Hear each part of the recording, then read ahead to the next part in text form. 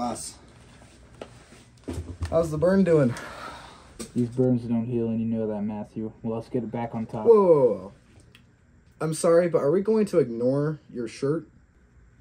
That's not important right now, okay? What is important is getting back on mission here. Right, my apologies. So, what's going on? I know you called me in for something important. First of all, I'm gonna need your keys. Um, yeah, of course. There. These will be your new keys. Oh, shoot! An undercover vehicle? You could say that.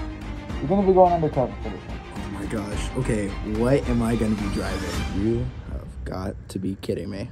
The... I made a mistake. Oh, how can anyone fit in this thing? Does this thing even start? It doesn't even have a steering column cover. Well, tally ho.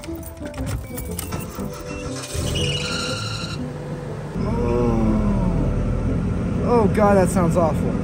Oh, um... Okay, um, that's gonna add something to my job, that's for sure. There goes nothing, I guess.